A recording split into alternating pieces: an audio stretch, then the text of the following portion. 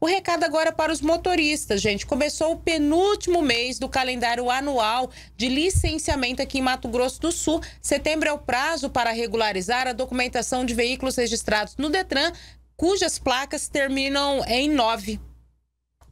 A Secretaria de Estado de Fazenda estabeleceu o valor unitário da taxa em R$ 49,49, assim para quem for pagar agora em setembro. E se o veículo não tiver outros débitos, o valor será de R$ 224,18. A partir deste mês de setembro, os motoristas deverão regularizar a documentação dos veículos registrados no Detran de Mato Grosso do Sul com placas terminadas em 9. A taxa anual de licenciamento pode ser paga por meio do autoatendimento no portal de serviços Meu Detran ou pelo aplicativo Detran MS. Basta emitir a guia ou copiar o código de barras para o pagamento. Outra opção é buscar atendimento presencial em uma agência do Detran.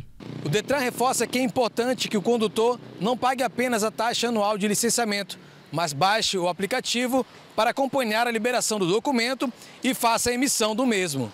Motorista que for flagrado circulando em vias urbanas ou rodovias com veículo não licenciado comete uma infração gravíssima. O artigo 230 do Código de Trânsito Brasileiro prevê a aplicação de multa de R$ 293,47 e a perda de 7 pontos na carteira, além da medida administrativa de remoção do veículo ao pátio.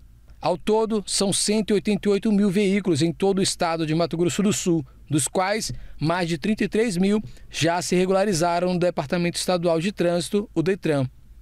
Em Três Lagoas, o número de veículos registrados neste ano é de 103.670, segundo dados do Departamento Nacional de Trânsito, o DENATRAN. O aumento no número de veículos acompanha o crescimento populacional da cidade.